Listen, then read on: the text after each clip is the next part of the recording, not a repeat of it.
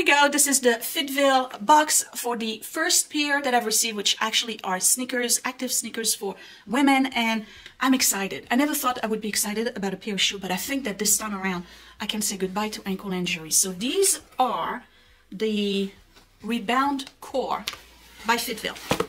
And I pick the pink ones. I'm going to insert pictures of the other colors that they have for women. So here's the side view here and here's the front. And another side view. And the back. All right so look at this. Right there and here I can tell you that my foot is not gonna roll out. I think it's called supination I'm not sure.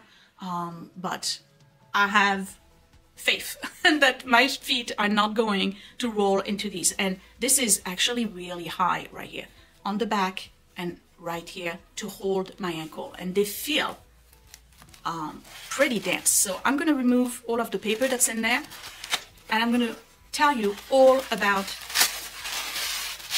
these shoes. This is a size 8W wide toe box. 8W. The upper is premium quality suede. So this is actual suede. Don't forget to put your little spray on it so that um, it doesn't stain. So let's talk about the insole. Let me remove it. Here we go.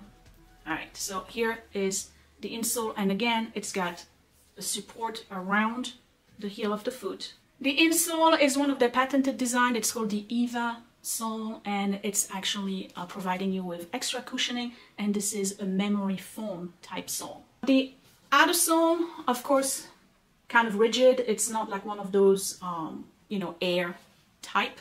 And it's anti-gripping and anti-skidding, but it's also rigid for the purpose of giving you extra stability. Okay, let's talk about the foot box. They do wide 2E all the way up to wide 4E. So if you are uh, looking for this type of shoe with a large toe box to accommodate either, again, bunions or hammer toes, 2E up to 4E for the uh, toe box.